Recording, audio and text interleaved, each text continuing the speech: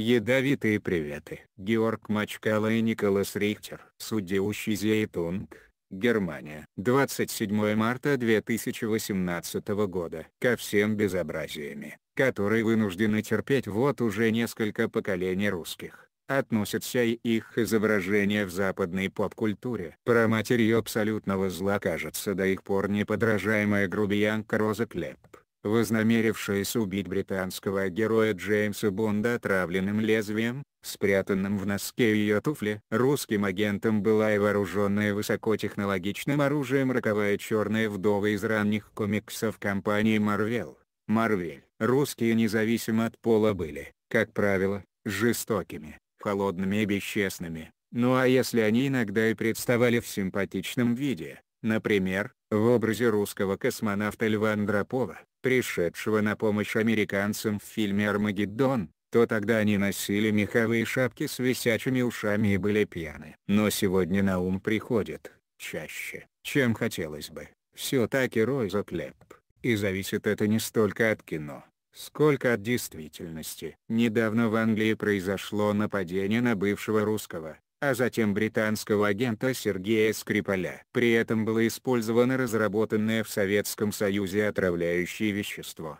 Это преступление можно рассматривать как нечто из времен Холодной войны. Также, например, как и недавнее похищение в центре Берлина вьетнамского политика Чин Суэнтхана, Тринг Суантан произведенное по приказу правительства его родины, Социалистической Республики Вьетнам. Коммунистические или авторитарно управляемые спецслужбы, к которым относятся и русские, не испытывают ни жалости к своим жертвам, ни уважения к правовым государствам. На Западе это вызывает все растущее беспокойство. На довольно продолжительное время русские агенты исчезли из поля зрения европейцев-американцев. Причиной тому были конец холодной войны и исламский терроризм. Воплощением зла теперь был не престарелый член политбюро с атомным чемоданчиком, а проповедник с поднятым вверх пальцем в афганском шатре. Исламисты лучше коммунистов поняли всю мощь телевизионной картинки, никогда реальность так не превосходила кино, как 11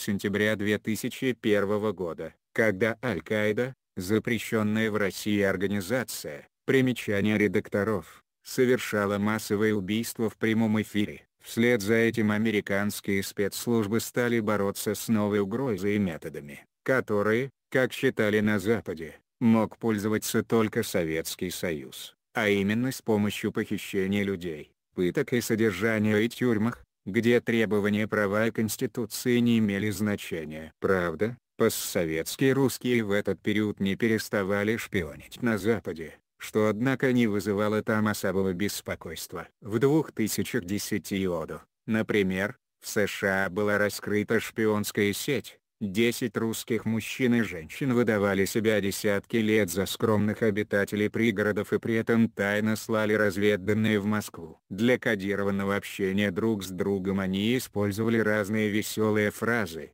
типа как чудесно быть Дедом Морозом в мае. Американцы отреагировали на шпионов скорее удивлены с юмором, чем с озабоченностью. Позднее разоблаченная шпионка Анна Чапман сделала, и это было тогда в духе времени, успешную карьеру ведущей на российском телевидении. Сценарист Джо Вайсберг положил эти события в основу сценария телесериала о шпионах, которые живут среди нас. Речь там шла и о неких Филиппе и Элизабет, которые воспитывают на окраине Вашингтона двух детей и подрабатывают, а вернее, зарабатывают, тем, что работают на Москву. При этом они склоняют к предательству, пытают и убивают людей Однажды даже расчленяют труп женщины, чтобы поместить его в чемодан. У Вайсберга с этой темы была только одна проблема – отсутствовал фактор страха, потому что русских больше никто не боялся. Писатель вышел из положения, сгладив напряженные отношения внутри агентского семейства и переместив действие в 80-е годы когда президент Рональд Рейган называл Советский Союз империей зла. Если бы Вайсберг писал свой сценарий к сериалу «Американцы», «Американс», сегодня, то он спокойно мог бы перенести действие опять в настоящее время, в котором царит если еще не холодная война, то как минимум холодный мир. Российский президент Владимир Путин считает, что Запад ведет осаду его страны, прежде всего путем расширения НАТО. Путин, наконец, достиг своей заявленной ранее цели. Россию опять принимает всерьез и возможно даже побаивается. С момента аннексии Крыма и демонстративно заключенного альянса с сирийским любителем бочковых бомб Башаром Асадом на Западе считают, что Путин способен практически на все. Британское правительство даже считает, что лично он ответственен за нападение на Скрипаля. Доказательства тому, правда, отсутствуют, но британская пресса указывает на то, что Путин был когда-то агентом КГБ, вследствие чего никаких дополнительных доказательств его причастности к нападению не требуется. Путин подкрепляет такое представление о себе, предсказывая предателям плохой конец и грозя террористам мочить их в сортире. Но действительно ли спецслужбы стран, лежащих восточнее железного занавеса, беспощаднее, чем западные? В истории можно найти тому множество свидетельства. Причем из каждого из них можно было бы сделать захватывающий фильм. Так в 1959 году украинский антикоммунист Степан Бандера был убит в Мюнхене агентом, прыснувшим ему в лицо синильной кислотой из шприца. В 1978 году КГБ и болгарские спецслужбы расправились с диссидентом Георгием Марковым, его кольнули на одном из лондонских мостов острием зонтика и ввели при этом под кожу смертельную дозу рицина. В 1981 году агенты Министерства госбезопасности ГДР попытались устранить Вольфганга Вельша, Уалфганг Уилч, помогавшего гражданам ГДР бежать из страны подсыпав ему в котлеты талий. Однако и другие спецслужбы иногда идут на крайние меры. Израильская спецслужба Масад убила тысячи как действительных, так и предполагаемых террористов. В 2010 году скорее всего израильские агенты умертвили одного из руководителей Хамас Махмуда Аль-Мабхуха, Мамут Аль-Мабу, в одном из дубайских отелей. При этом сделали они это так умело, что сначала все выглядело, как будто Аль-Мабхух умер в своей постели естественной смертью. В учебниках для спецслужб навсегда останется и командная операция, в ходе которой агенты США убили в Пакистане предводителя Аль-Каиды Усаму бен Ладена. Позднее на основе этих событий был создан фильм «Цель номер один». Зера Дарк Тарты. Реальность и выдумки все время соревнуются друг с другом. То, что при этом часто побеждает реальность, далеко не всегда заслуга только русских. Но больше, чем на Западе, спецслужбы на Востоке используются во внутренней борьбе с диссидентами и критиками режима. Однако пометуя сталинские времена, советское руководство всегда следило за тем, чтобы никто не мог единолично и по своему усмотрению распоряжаться агентами. Партии Политбюро контролировало руководство спецслужб. Но в лице Путина теперь человек из спецслужб заправляет спецслужбами и не видно никакой политической силы, которая бы над ним надзирала. Но и спецслужбы США не всегда руководствовались в своих методах принципами правового государства. Скорее они исходили из актуальной ситуации в мире и возникающего в связи с ней ощущения угрозы. В 50-е годы ЦРУ разрабатывала гротескные планы устранения кубинского лидера Фиделя Кастро. Позднее ведомство дистанцировалось от подобных методов, пока террор 2001 года не заставил его отбросить все моральные ограничения. Президент США Обама сначала расширил свою дроновую войну, но затем ввел для нее некоторые ограничения, целенаправленные убийства должны были ограничиваться лишь случаями, которых террористы представляли собой непосредственную опасность. Свидетельством особого цинизма авторитарных спецслужб эксперты считают так называемые медовые ловушки. Имеется в виду практика, когда агенты женского или мужского пола совращают интересующих спецслужбы лиц и вступают с ними в сексуальные отношения. Правда, и западные спецслужбы использовали этот метод, но Советский Союз был в этом отношении абсолютным лидером что с западной точки зрения связано с его особой аморальностью. Бывший генеральный инспектор ЦРУ Фридерик Хитц,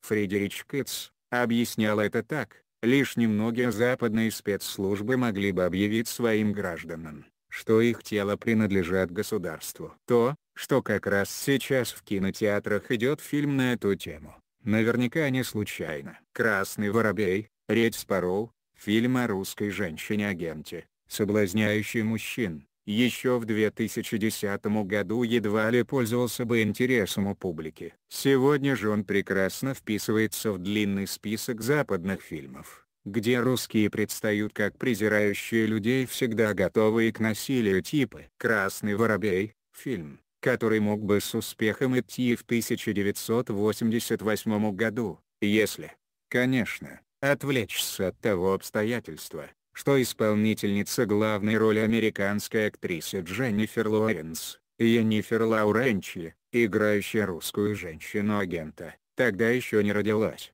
Но действительно ли нужно обязательно спать с врагом, чтобы он доверил тебе свои тайны? Самые большие перемены, которые переживают сегодня спецслужбы, связаны скорее с технологией, чем с идеологией. Зачем нужно вытягивать у кого-то секреты в постели, когда можно прочитать его записи в телефоне.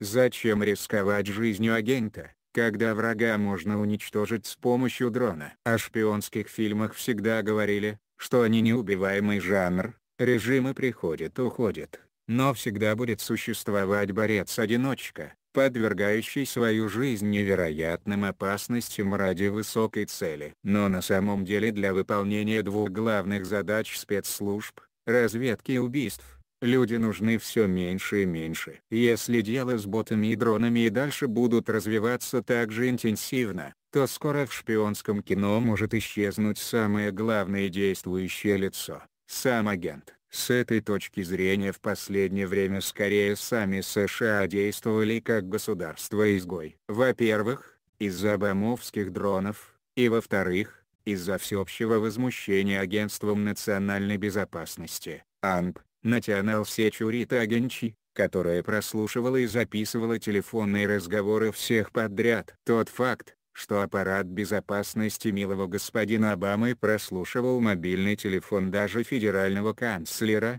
был воспринят немцами почти как предательство. После аннексии Крыма в начале 2014 года Москва вновь стала объектом пристального внимания. С тех пор США обвиняют русских в хакерских атаках и целенаправленном взломе электронной переписки американских демократов с целью повлиять на президентские выборы 2016 года. Следователь по особо важным делам Роберт Мюллер, Роберт Муэллер, выяснил, как русские агенты, Изучив обстановку в США, попытались затем из Петербурга с помощью автоматических аккаунтов в социальных сетях подогреть настроение избирателей, направить их в нужное русло и поколебать доверие американцев к государству. Не выглядит ли все это как новая тактика ведения войны? Травля, дестабилизация, введение в заблуждение?